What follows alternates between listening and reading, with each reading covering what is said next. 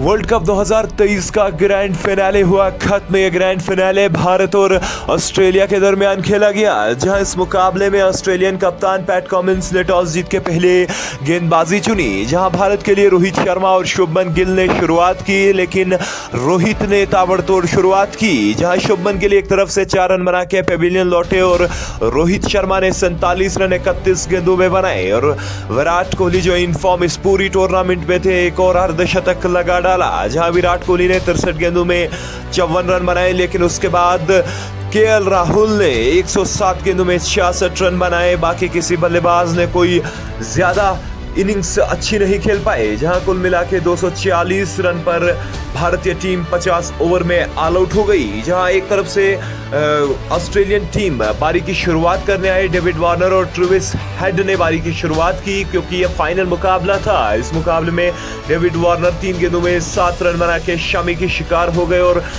Travis Head ने एक सौ सैंतीस रनों की बारी खेली, जहाँ मैच विनिंग बारी ट्रेविस हेड ने 120 गेंदों में एक सौ सैंतीस और मिचल मार्श ने 15 जबकि मार्नुश लेबशन ने अट्ठावन रन 110 गेंदों में बनाए इस मुकाबले को ऑस्ट्रेलियन टीम ने आसानी के साथ तरतालीस ओवर में जीत गई, यानी कि ऑस्ट्रेलिया की टीम अब छह बारी अपना खिताब जीत चुकी है, यानी कि ऑस्ट्रेलिया की टीम वर्ल्ड चैंपियन बन चुकी है, और भारत को एक बार फिर से चार साल का इंतज़ार और करना पड़ेगा, क्योंकि ऑस्ट्रेलिया की टीम अब छठवीं बार वर्ल्ड चैंपियन बन चुकी है। अगर ये वीडियो आपको अच्छी लगी हो, वीडियो को लाइक और चैनल को सब्सक्राइब करना ना भूले।